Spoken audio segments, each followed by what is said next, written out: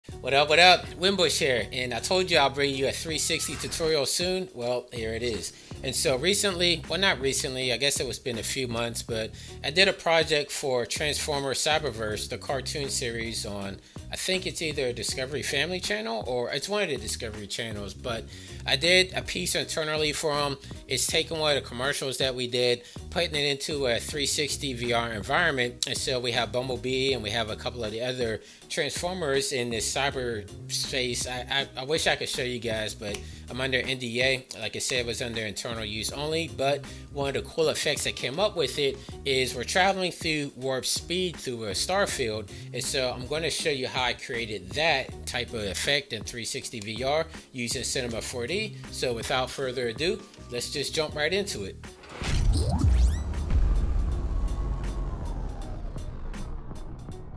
Alright, so before we get started in Cinema 4D, let me show you the effect that we're going to be recreating. So we're moving through a star field here in warp speed.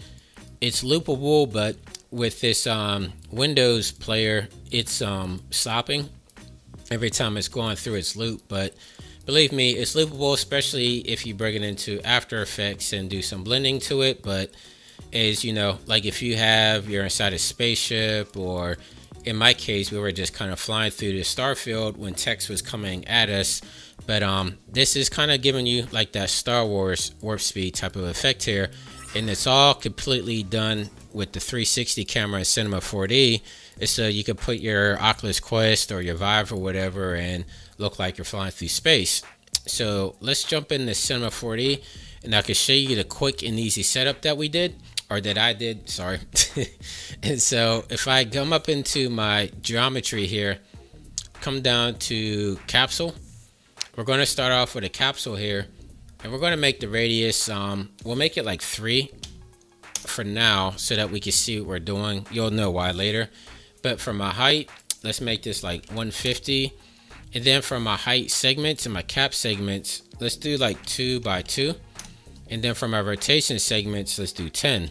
And the reason I'm doing this is because we're going to have like a whole plethora of these capsules, which these capsules are representing our stars. And so we're going to have a whole gang of them just so it looks like we're in a large galaxy.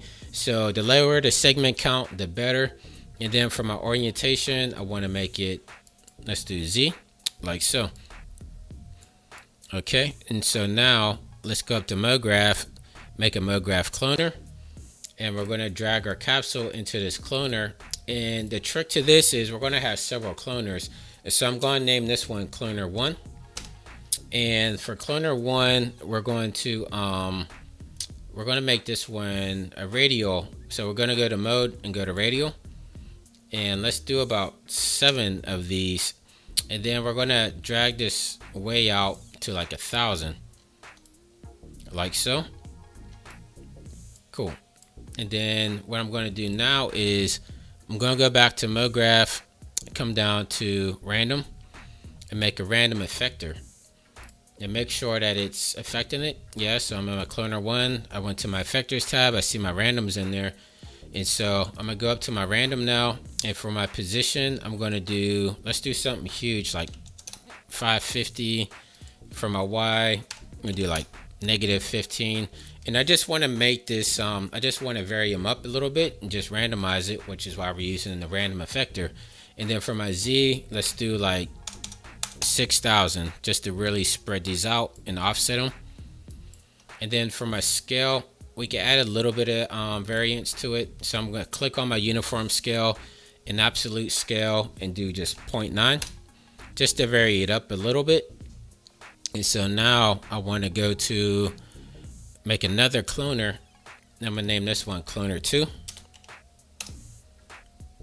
And I'm gonna drag cloner 1 under cloner 2. And for cloner 2, for my mode, I wanna do a grid array.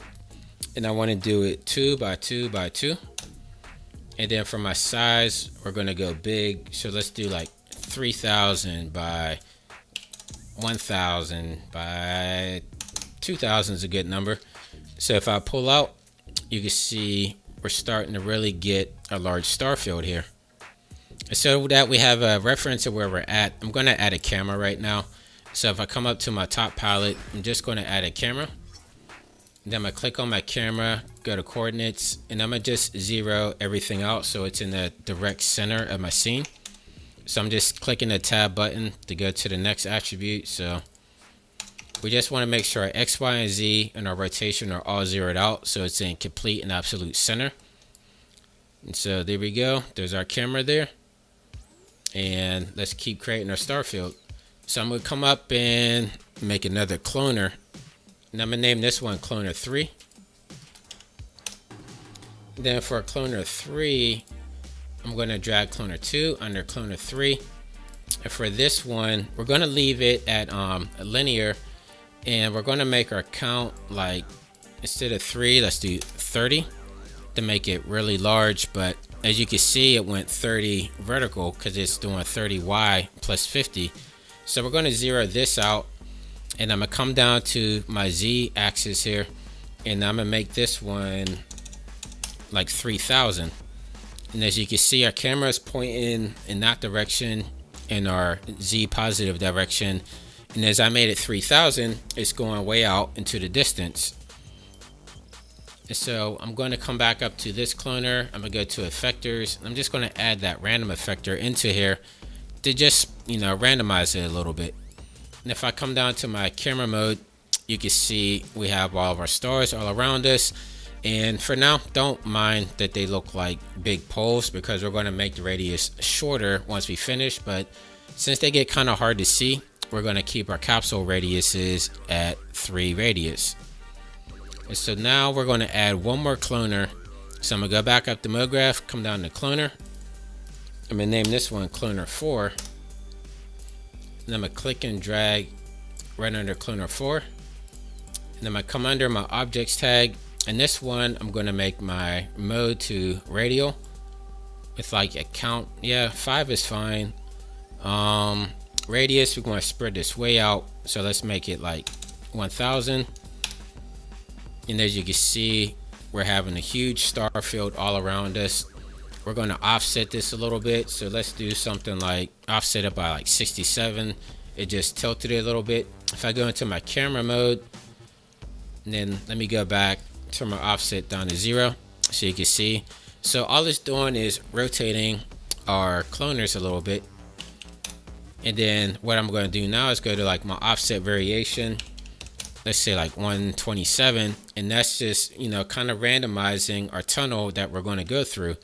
And so that's basically our setup for that. If I come back down to my capsule, I'm going to make my radius 1. And this one actually depends on how big you want your stars to be. Like when I did my render, I think I did at 0.5 just to really make them skinny. You could probably even go smaller than that.